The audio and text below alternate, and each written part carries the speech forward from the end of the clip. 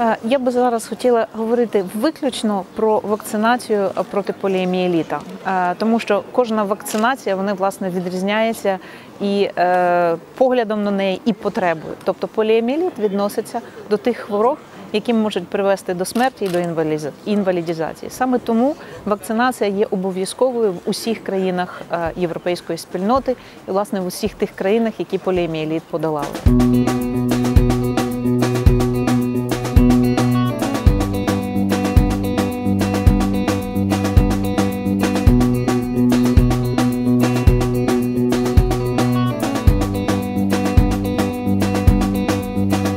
Засоби масової інформації дають людям невідповідну інформацію, і люди на сьогоднішній день не розуміють, що вірус поліеміеліта він циркулює в природі, тобто він є незалежно від того, ми хочемо чи не хочемо.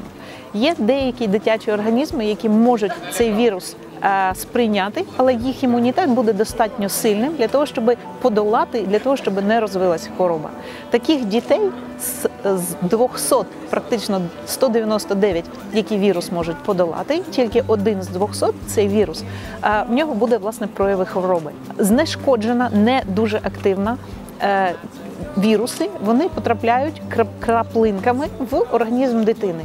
І організм на маленьких маленьких дозах починає вчитись, як з цим вірусом боротись. Oh, something. Oh, something. Oh, something Але вірус, який потрапляє в організм дитини, він не інактивується і не перетравлюється. Він з сечею і скалу виходить куди? А, в каналізацію. З каналізації він попадає в річки озера. Чим більше у нас вакцинованих дітей, тим відповідно більше вірусу виділяється в, в природу. А якщо багато діток є вакцинованими, то відповідно е, ризик виникнення і розвитку такої хвороби він взагалі не виникає.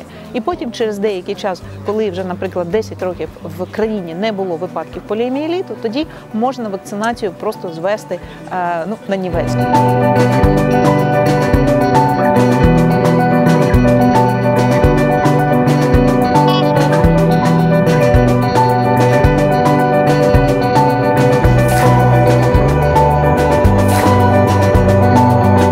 Вакцинацію потрібно розглядати індивідуально, індивідуально до кожної дитини, але в межах всієї країни і європейської спільноти ми маємо стати справді країною європейської якості і справжньої довіри і влади, і до влади, і до охорони здоров'я.